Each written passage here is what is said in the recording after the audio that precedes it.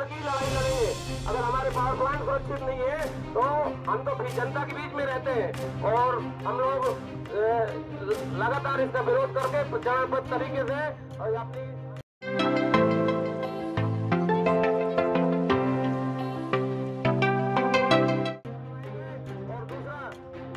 Supply हम पूरी तरह प्रभावित करेंगे।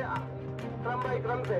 मैं आपको ये बताना चाहता हूँ कि जिस जिस काम में वसूली के दौरान हमारे विभिन्न क्षेत्रों में चाहे पश्चिम क्षेत्र हो चाहे मध्य क्षेत्र हो चाहे पूर्व क्षेत्र हो आए दिन इस तरह की घटनाएँ हो रही है। मैं इस काम में पिछले दस साल से डिप्यूटी इंजीनियर हूँ और दस साल में मैंने सोलह आर दर्ज कराई है। सोलह बार मेरे साथ मैं निर्णय की हुई और सोलह बार मैंने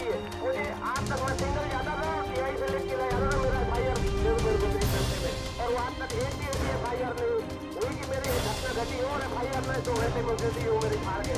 और आज हमारे इतने सीनियर इंजीनियर के साथ में पावर प्लांट में घटना हुई। उसके लिए हमें एफ़ आई आर कराने के लिए यहाँ चौराहे में एक class one super class one officer को देना पड़ रहा है। करती है ये? हमें समझ नहीं आता। आज आपका आर आई घटना हो जाती है। अगले दिन प्रशासन इतनी संबंधित आरोपी पे इतनी धाराएँ लगा देता है कि जूते गिर जाते हैं। वो आदमी मर जाता है लेकिन धाराएँ खत्म नहीं होती। धाराएँ खत्म होती होती सीता के साथ। और हमारे इंजीनियर की सारी मारपीट हुई। आज धाराएँ कैसे लगाई जा रही है? आज हमको ज्ञापन देना पड़ रहा है? इस तरह से अगर ये शासन का यही रवैया रहा। तो पूरी तरह से सिस्टम बंद किया जाएगा। और भी जो है बयान दर्ज कराने गया था कि उन्होंने बोला, भाई बताइए, आप तरीके से पूरा बताया कि इस तरह से हम वसूली करने गए थे इसका में पचास हज़ार में शर्ट फाड़ दी और ये शर्ट जब तैयार से सामने और ये देखिए दादागिरी हो रही है, पूरा विवरण बताया उसको। और और संबंधित सामने वाली जो पार्टी थी, वो पार्टी में उतारता हूँ पहन के बताता हूँ, ये मेरी शर्ट है साहब ये इस तरह हरकतें हो रही है। तो फ़ोन किया हूँ उनमें जब काफ़ी बोले, मैं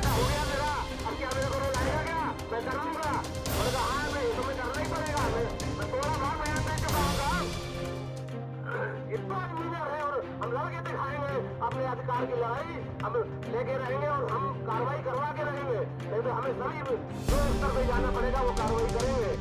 साथियों, ये सब अब आपसी मतभेद मिला के हम सब जितने भी हमारे कर्मचारी यूनियन है, चाहे प्रोटेक्शन नेट बन गया, वकीलों के लिए प्रोटेक्शन नेट बन गया तो इंजीनियर के लिए प्रोटेक्शन नेट क्यों नहीं बना अभी तक? ये शासन से मांग करेंगे और हर हाल में इसकी जो है मांग पूरी करवाएँगे। और सब लोगों की ड्यूटी अखंडता ये प्रदर्शित करती है।